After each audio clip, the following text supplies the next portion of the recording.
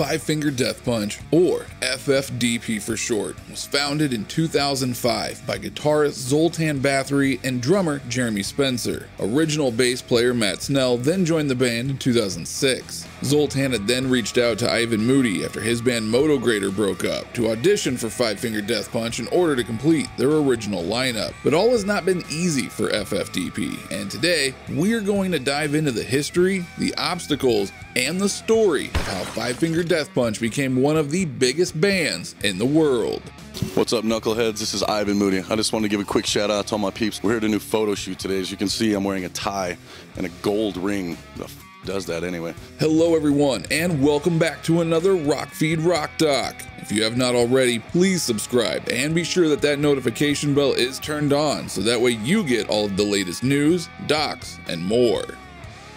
By the time 2006 came to an end, the band had recorded and self produced their first album, The Way of the Fist. Shortly after recording their first album, the band would go on to search for a second guitarist. They would initially get Caleb Bingham, and then soon after replace him with Darrell Roberts from the band Wasp. In 2007, the band would sign their first deal with The Firm. By the end of July in 2007, the band not only released their EP Preemptive Strike, but they also released their first single The Bleeding and their debut album The Way of the Fist. The band would then spend the next couple of years touring, and in January of 2009, the band fired Darrell Roberts. He was then replaced by current guitarist Jason Hook. That wouldn't be the last lineup change the band would make though, as bassist Matt Snell was fired in December of 2010. But that news wouldn't become public until April of 2011 when it was leaked against the band's wishes. Snell was replaced by Chris Kael in June of 2011 after they had finished writing American Capitalist. The band would continue to tour to support the record for the next two years before hitting the studio again for what would be two albums The Wrong Side of Heaven and The Righteous Side of Hell Volume 1, which was released on July 30th, 2013 and Volume 2, which would then be released on November 19th that same year. Now, with all the touring came a lot of parties, which led to much larger issues for a couple of the guys. In 2012, Ivan admitted that his alcohol issues nearly got him fired from FFDP. He stated he would perform drunk on stage and not remember any of it the following day. This type of behavior would continue for the next several years. And while playing in the Netherlands in 2017, Ivan famously quit the band during their set. He has said that he was not drunk when he did it, but he was hungover. The next day, the band gathered around Ivan and told him they were sending him home. They said, Dude, if you don't do something about this, you're gonna die. There's no ifs, ands, or buts anymore. You're waking up, you're not taking this seriously. You have such power out there, and you're wasting it.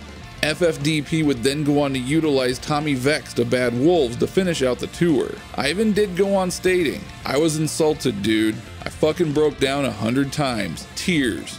Dude, I took golf clubs to my fucking walls. I was a mess. I went to a bar just to get into a fistfight with a dude twice my size, just to do it. I fucking whooped his ass, straight up. If the guys would have just canceled the tour and not gone on with Tommy, we would have been sued for millions of dollars. The promoters would have never played us again. The radio stations, the media, in general, they just would have fucked us in the ass. It would have all been my fault. So I am really proud of Tommy for taking on those shoes. He did a good job, he did alright. When asked in interviews about his addiction, Ivan said, When I was drunk, I knew how my life was gonna end. I planned on it. I was not gonna wake up one day or go into a seizure and die. It's just I was comfortable because I knew what was gonna happen. And now being sober, I don't know how I'm gonna go, and that's a scary fucking thing. And I've met a lot of addicts that feel the same way. When asked about his recovery, he stated, I knew I was done during my detox. It took me seven and a half days just to detox. I couldn't walk, I couldn't go to the bathroom by myself, I couldn't smoke a cigarette.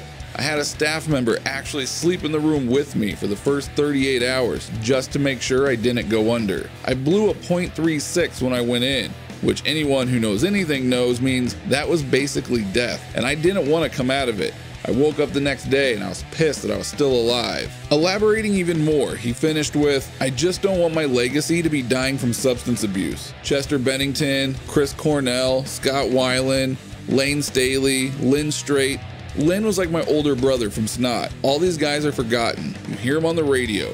I listen to a Linkin Park song now, and I can hear him crying for help. Ivan would then go to rehab and finally become sober.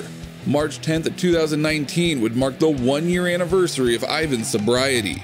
Bassist Chris Kael would help to commemorate the occasion with a touching picture of the two overlooking the crowd on Instagram with a nicely worded post congratulating his friend and bandmate. Ivan himself was also surprised, saying, I'm speechless, man.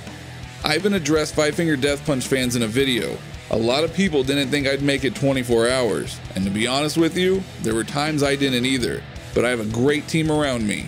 In his latest interview with Lazer 103.3, almost two years sober, Ivan said, It was time for me to have a transformation and to either become what I had been and stay stagnant and just be content with the human being I was, which was never going to happen, or I had to evolve and take the steps that were necessary to not only be a better man, but to be a better artist and to really get back to my roots and realize that modification is absolutely necessary in everything. My sobriety is a huge deal. Ivan wasn't the only one struggling with addiction though. While Ivan was more public with his struggles, Chris Kael was secretly battling his own. Kael revealed in an interview with KLAQ that he was doing an 8 ball of coke a week. He was quoted as saying, That's gotta be the biggest problem for me. That and depression. The two things were not good. I didn't realize it until I got into rehab that I was self medicating with cocaine to get my dopamine levels up to fight the depression. I never even thought about that. And then when you come off of it, you crash hard. Kael adds, Ivan was going through his thing, and me, no one really knew. I was the quiet one that was kind of doing things on the side. It hit me hard when I got off the road last time. Going home was always hard anyway because you've got so much stimulation out on the road. And then you come home and you're like, wait a minute, I gotta take out the trash? That's the biggest part of my job now? Kael has since been sober though, since February 3rd, 2018. Kael recently celebrated his two years of sobriety as well with a touching Instagram post, letting his fans know that they can do it as well. You just keep putting one foot in front of the other. In an interview with Metal Shop TV, Kael said, the place that I'm in now, with the outlook I have on life and the perspective and all the work that I've done to correct some of the things I had inside that needed to be worked on, that I was covering up with drugs and alcohol, drugs and alcohol weren't the only problem. There was definitely some inside stuff that I needed to deal with. But to think that I was that close to death because I couldn't stop drinking, I couldn't stop doing blow, it was really a sobering thought. In sobriety, at that point, that I was that close to dying. So thank God that last moment hit me, and I had that moment of clarity to call my buddy and have him drive me to rehab. Had I not had that split second decision to text him to get me to rehab, I would not be here on this camera today. Thankfully for us knuckleheads, FFDP has come back stronger than ever, with the exception of one missing founding member. On December 18, 2018, Jeremy Spencer had announced he was leaving the band due to back issues. Though he needed to leave, Jeremy knew of the perfect replacement in Charlie Engen. Jeremy had known Charlie and they developed a relationship by talking about drums and all the classic stuff. And once the band heard Charlie, they knew he was the perfect fit. And while Jeremy hasn't been touring and playing anymore, he still has remained plenty busy. In June of 2019, Jeremy announced that he was sworn in as a reserve police officer in Indiana. Later that year, in September, he announced that he would be acting, co directing, writing, and providing music for an erotic horror parody series, Lady Killer TV. Though the band has dealt with their struggles and departures over the years, at the same time they've been kicking ass and taking names all along the way. Throughout the course of their career, Five Finger Death Punch has released eight albums, gone platinum multiple times, headline tours, played giant festivals, and have done numerous events to help support first responders and the military. But how did FFDP get so big? Well, it comes down to a few key things. They have a unique sound.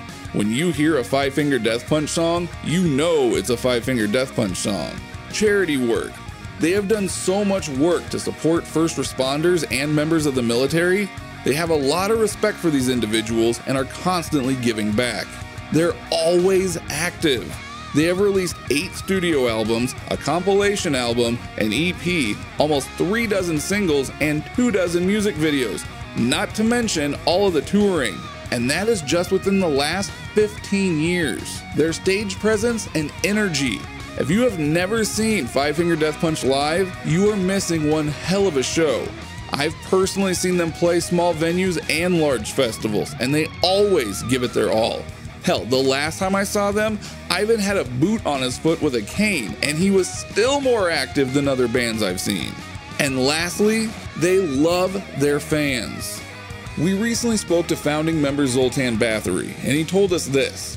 It's simple. Ignore the critics, the know it all experts, and the self proclaimed elite, because if they knew a fucking thing, they would be doing it themselves. But they don't. They are just talking nonsense from the bleachers. While they generally miss the whole point of music altogether, music is meant to unify people, and it's for sharing, and it is for the people. It's not supposed to be a vehicle to prove how cool and special and important of a musician you are.